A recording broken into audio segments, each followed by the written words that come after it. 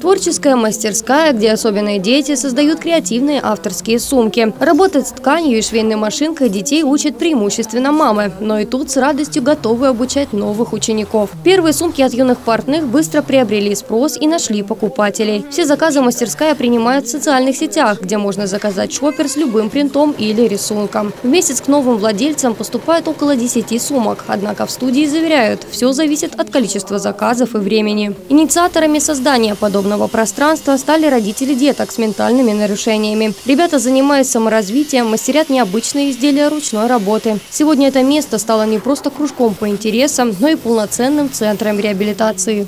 На сегодняшний день мы э, производим э, шоперы, э, наши так называемые торбы добра. Все они производятся из натурального стопроцентного льна. Шоперы эти уже достаточно полюбились не только Э, жителям нашего города заказы поступают э, со всей Украины, что очень приятно, и даже из ближнего и дальнего зарубежья. Это действительно качественный продукт, который э, вообще в носке прекрасно себя ведет. Я сама проходила с такой сумкой всю весну и лето, и она просто в идеальном состоянии. Вот. Э, также это уникальный принт. Вот эти сумки, которые сейчас вы видите, их разрисовывает эм, Э, наш детский художник Владимир Бевза, он э, тоже с аутизмом, он очень талантливый, и вот у него получаются такие интересные работы, то есть это все персонажи он тоже придумывает сам, ну, конечно, здесь понятно, это э, был недавно день рождения Леннона, и вот он вдохновился и сделал вот такой вот рисунок.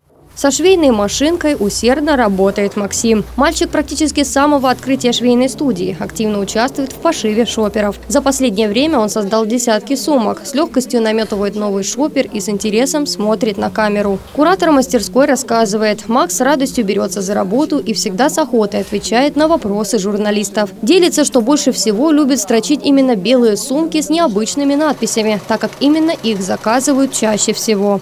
Надо развивать свои руки, потому что сидеть за компьютером одним делом, работать, это надоедает. И вот нравится, когда уже отделяешься на другое, и ты шьешь.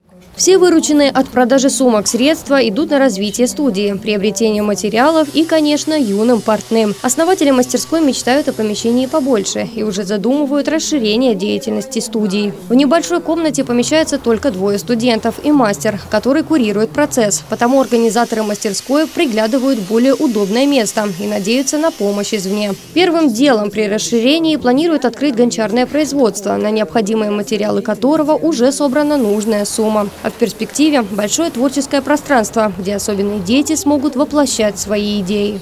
Мы закрыли достаточно успешный краундфандинговый сбор на платформе «Мой город». Мы собрали 108 тысяч. Э, и э, с учетом того, что до этого мы выиграли у э, благотворительного фонда «Ведро Женя», э, про, наш проект выиграл, и они эти деньги должны удвоить.